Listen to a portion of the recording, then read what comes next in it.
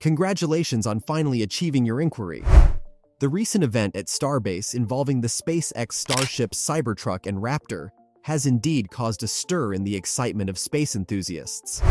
This historic moment marked the integration of SpaceX's cutting-edge technologies, showcasing their dedication to pushing the boundaries of space exploration.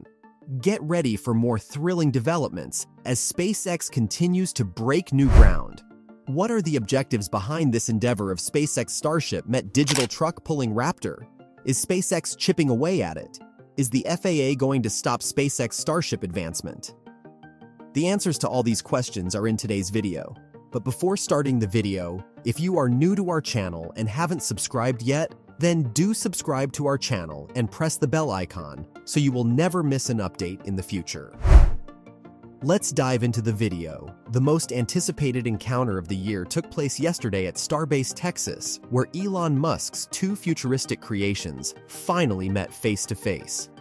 The SpaceX Starship, the reusable rocket that aims to take humans to Mars and beyond, and the Cybertruck, the electric pickup truck that looks like it came from a sci fi movie, had a moment of glory as they crossed paths on the road.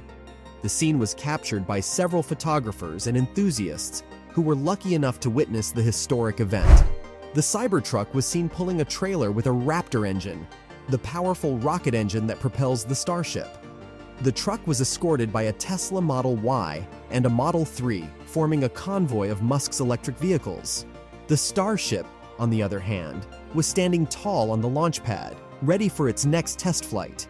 The massive rocket has been undergoing several tests and modifications in recent months, as SpaceX prepares for its first orbital flight later this year.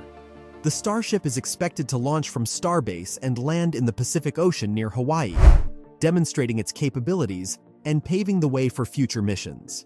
The meeting of the Starship and the Cybertruck was a rare and spectacular sight that showcased the vision and ambition of Elon Musk and his companies.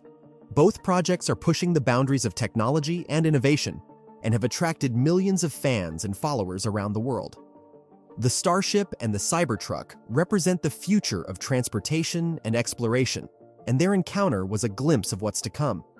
When SpaceX's Starship finally heads to Mars, its payload could include a Tesla Cybertruck, which is completely possible. In fact, it was like a scene out of an Elon Musk produced film that was caught on camera this week at SpaceX, Starbase in Texas by Starship Gazer, who managed to point the camera at a Tesla Cybertruck towing a massive rocket engine on a trailer. Specifically, the all-electric pickup was towing a Raptor vacuum engine meant for the second stage of the Starship launch system, which reportedly weighs around 1,600 kilograms or about 3,500 pounds. Tesla said that the Cybertruck will have a towing capacity of over 14,000 pounds, depending on the configuration or model. In any case, this is the first time that we've seen a Cybertruck towing a SpaceX rocket engine. Previously, the all-electric pickup that's yet to be delivered was spotted towing, a variety of trailers on the roads of North America and New Zealand, but never something as big as a Raptor engine. That being said, the next G electric pickup and the next G fully reusable heavy lift rocket is truly a match made in heaven. Cybertruck looks more like a rover designed for space exploration than a truck, and the analogy in this case is particularly fitting because the Cybertruck is clad in the same stainless steel alloy that Musk's other company SpaceX will use as the skin of its forthcoming Starship spaceship. Musk said on stage during the unveiling in 2019 the 9mm it is. It is literally bulletproof to a 9mm or a handgun. That's how strong the skin is so ultra hard cold rolled uh, stainless steel alloy that we developed. We're going to be using the same alloy in, in the Starship rocket and in the Cybertruck. As we all know, Starship is also made of stainless steel for the outer shell, with an additional tile covering layer for half of the spacecraft that will endure the highest heat from re-entry. The super heavy booster that the Starship will ride at top during its exit will be clad entirely in stainless steel. The reasoning for going with that material was a combination of cost and effectiveness, as it's actually remarkably good at withstanding and shedding high heat. Using the same stainless steel alloy across both Tesla and SpaceX will obviously provide some cost efficiencies, especially if the Cybertruck manages to become a high-volume production vehicle. there's another way that the Cybertruck could benefit. SpaceX's work and Musk alluded to it on X, ahead of the event. Indeed, in November of 2019, Musk declared via Twitter at the time that a pressurized version of Tesla's Cybertruck would be the official truck of Mars the following month. He noted in another tweet that Starship would have the payload capacity for a Cybertruck, as always with Musk. Think in this instance, he actually meant this literally at least at this stage in the game.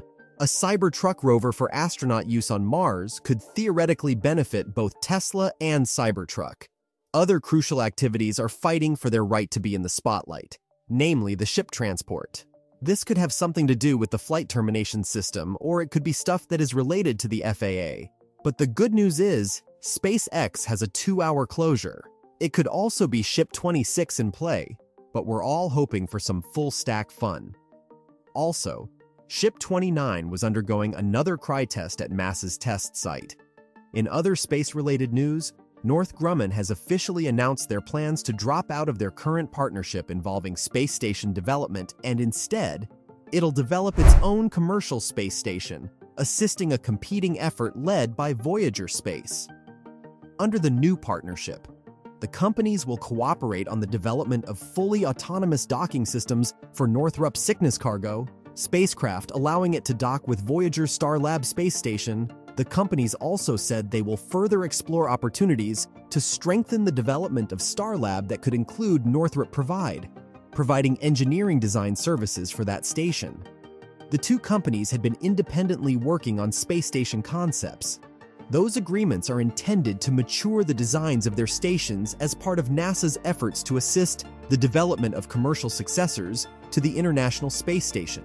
Set to retire in 200-130 Voyager space, recently added Airbus Defence and Space to its team, creating a joint venture to enable the development of Starlab. The Voyager Northrop statement did not discuss the future of Northrop's proposed station.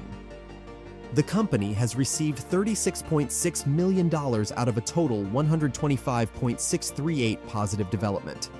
NASA stated it will take the $89 million that Northrop Grumman did not receive on its CLLD agreement and other unspecified funding to add milestones to the agreements it has with the Voyager Space, Blue Origin, and Axiom Space Coalition, assuming NASA and the companies can agree on the additional milestones and values.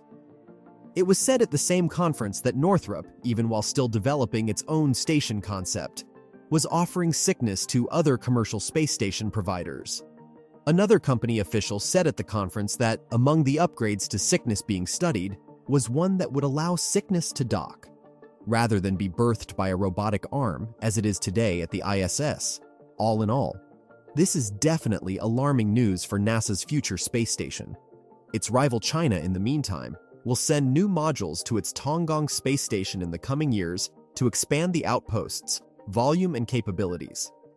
Future plans for Tiangong were presented at the 47th International Astronautically Convention in Baku on October 4th Jiang Chaya of the China Academy of Space Technology, or C, presented plans to expand Tiangong from three to six modules.